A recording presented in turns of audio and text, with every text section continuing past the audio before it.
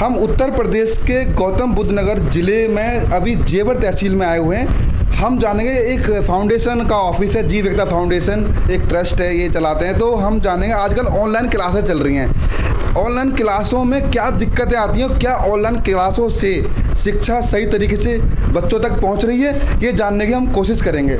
जी sir, आपका नाम क्या है? राजेंद्र प्रसाद। राजेंद्र जी ये जो ऑनलाइन जो पद्धति चल रही है। प्रधानाध्यापक प्राथमिक विद्यालय मोहबलीपुर। जी जी जी। ये जो ऑनलाइन की जो शिक्षा चल रही है क्या बच्चे उस वो शिक्षा सही तरीके से पहुँच पा रही है उनके पास? सर मुख्य चीज़ तो नेटवर्क की है। गाँव में जो है नेटवर्क नहीं मिल पा रहा है जी। जिससे मोबाइल जो है सही ढंग से चल नहीं पाते हैं। और जो भी सामग्री आई जाती है तो हम व्हाट्सएप पे तो भेज देते हैं। और मोबाइल भी अधिकांश गार्जियंस के जो है जेब में रहते हैं। बच्चों छोटे बच्चों को मोबाइल देते नहीं हैं। इस वजह से जो है ना तो नेटवर्क में से मोबाइल चल पा रहे हैं तो वो जो चीज़ भेज रही है सरकार या मतलब जो भी कैंटेन आते हैं तो वो पूरी तरह से ना खुल पाते हैं ना वो चल पाते हैं। ऑलरेडी हम तो डाटा रखते हैं लेकिन हमारा जब नहीं चल पा रहा गाँव में तो गार्जियनों के गार्जियन तब बहुत सारे ऐसे गार्जियंस हैं कि वो पैसे ही नहीं डलवाते हैं मोबाइल में। ये सारी दिक्कत है इस वजह से जो है ऑनलाइन बेसिक में सक्सेसफुल नहीं है। जी आपका नाम क्या है? मेरा नाम महेश कुमार वशिष्ठ है। मैं प्रधान अध्यापक प्राथमिक विद्यालय कानपुर। जी तो जो ऑनलाइन ये जो चल रही है क्लास हैं क्या बच्चों तक शिक्षा वास्तव में पहुँच पा रही है? क्या दिक्कत मानते हैं आप? दरअसल कुछ गार्जियंस इसे कर पा रहे हैं सौ में से दस परसेंट। जी। और नब्बे परसेंट बच्चों को शिक्षा नहीं मिल पा रही है। जी जी। इसके द्वारा सभी बच्चों को एक समान रूप से शिक्षा नहीं मिल पा रही है और बेसिक के बच्चे बहुत पिछड़ चुके हैं शिक्षा क्षेत्र में और उनका अभी हमें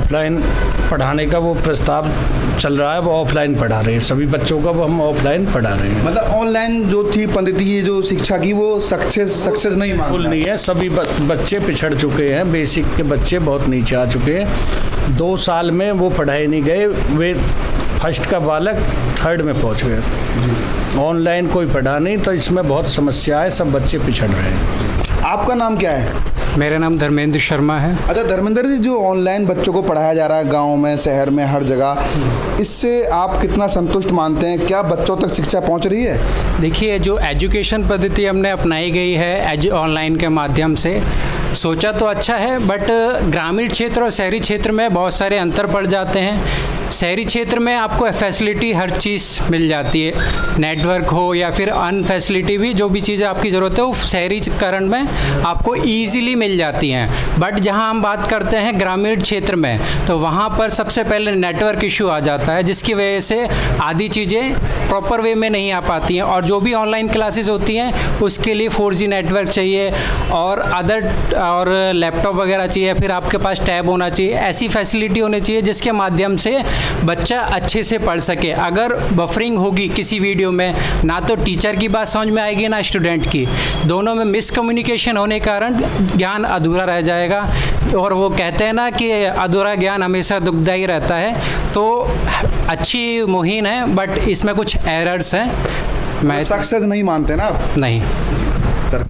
सर ये जो ऑनलाइन क्लासेस चल रही हैं बच्चों के लिए, ये कितना सक्सेस मानते हैं आप? नमस्कार, आपके चैनल के माध्यम से सभी को पहले धन्यवाद और आपने जो क्वेश्चन किया है, उसके रिगार्डिंग बता दें हमारे यहाँ ऑनलाइन पद्धति नहीं सफल है।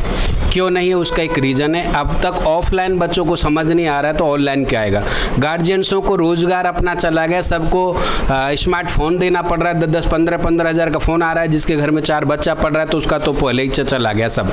और जब ऑफलाइन ही कुछ समझ नहीं है तो ऑनलाइन क्या आएगा? दर्द वो जानेगा जिससे बीत रही है। वहाँ से प्रस्ताव पास हो जाते, चाहे राज्य, हमारे उत्तर प्रदेश से हो, चाहे सेंटर से हो जाए। माननीय मोदी जी या योगी जी, पहल अच्छा हो सकता है उनके अनुसार बट उसको नीचे फुलफिल नहीं हो रहा है। कोई व्यवस्था नहीं, स्कूलों में कोई व्यवस्था नहीं है। सरकारी की बात करें, सरकारी बच्चे क्यों नहीं जा रहे, उसका एक रीज़न है। क्योंकि जब व्यवस्था नहीं रहेगी, खाली मास्टरों को वर्क दे दिया है कि पढ़ाओ पढ़ाओ मिड डे मील बंटवा रहे हैं उनसे, पढ़ाई के नाम पे कोई वर्क नहीं है। इसीलिए इस पद्धति पर सफल नहीं है हमारे हिंदुस्तान में। आज भी ऑफलाइन एजुकेशन का ज्ञान देना चाहिए, जिससे कि बच्चे और गार्जियंस अभी जो ऑफलाइन भी इसमें ऑनलाइन पढ़ाए गए कुछ नहीं हुआ। बेरोजगारी और बढ़ेगी, जो दसवीं और बारहवीं पास कर दिया गया। सीबीएसई पैटर्न हो या माध्यमिक शिक्षा विद्यालय हो, सबको पास कर दिया तो इंटर के बाद लोग रोज़गार देखता है, वो बेरोजगारी का कारण है। इसीलिए ये पद्धति हमारे यहाँ सफल नहीं। अभी हमने ऑनलाइन पद्धति कितना सफल है, कितना असफल है, इस पे हमने चर्चा की, हमने बात करने का प्रयास किया, कुछ लोगों का, उनकी राय जानी। आज हमने तो सभी का कहना है, आपने देखा ही होगा कि ऑनलाइन पद्धति सफल नहीं है, सक्षम नहीं है। इससे बच्चों का नुकसान ही हो रहा है, कोई फ़ायदा नहीं हो रहा है। मैं हमवीर सिंह न्यू मॉर्निंग, जेवर, गौतम बुद्ध नगर।